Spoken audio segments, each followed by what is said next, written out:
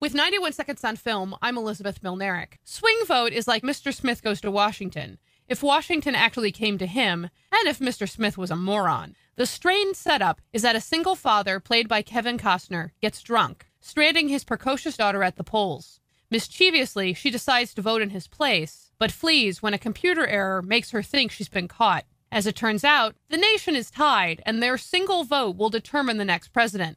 Kevin Costner deserves credit for fully embodying a character who is, in turns, charming, devoted, stupid, and horrifyingly negligent. The film does a good job illustrating the chaos of a media storm and the way the frenzy for a scoop reduces complex reality to simple minded slogans. It also functions like Robert Altman's The Player for pundits, featuring cameos from Larry King, Bill Maher, Arianna Huffington, and any other talking head willing to show up. There's too much going on plot wise, with the political bedlam competing with a broken family theme and a subplot about an ambitious local reporter. After laying America's political crisis bare, the movie then overreaches for a neat and happy resolution. Swing Vote is not a waste of time, but I recommend casting your box office ballot elsewhere. With 91 Seconds on Film, I'm Elizabeth Milnarik. 91 Seconds on Film is heard Thursday and Saturday at 2:20, Friday morning at 9:20, and Friday afternoon at 5:20.